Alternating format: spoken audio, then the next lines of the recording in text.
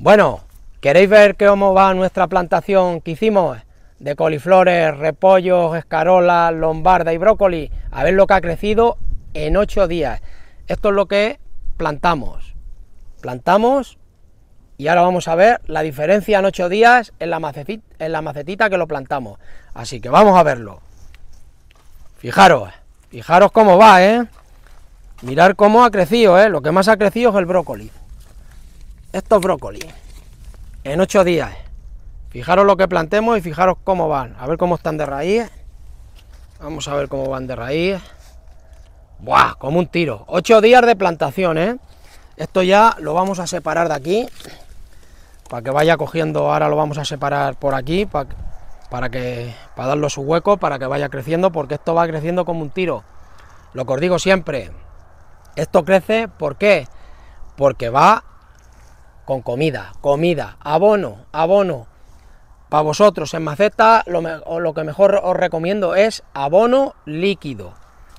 Una vez a la semana y la planta la verde crecer. Si no tiene sustancia, las plantas se ratonan.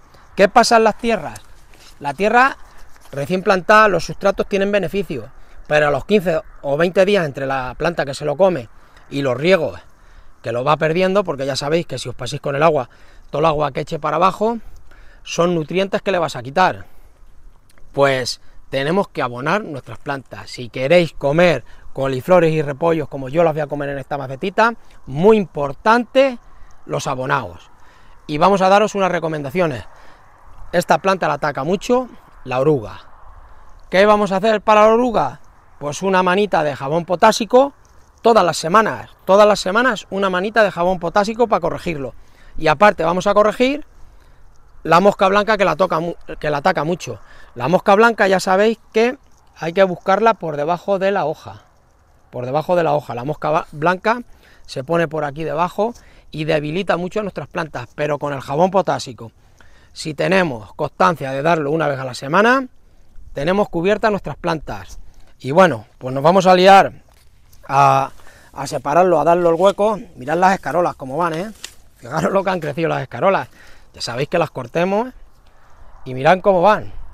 Las cortamos y, un espectáculo. Luego ya veremos también lo que tenemos que hacer con las escarolas para que se pongan blancas. Os enseñaré un truco, porque ya sabéis que la escarola no es igual que la lechuga. Hay que poner los cogollos blancos para que estén tiernos. Así que amigos, como digo siempre, la constancia y la perseverancia es el éxito de vuestras plantas. Un saludo y arriba la agricultura.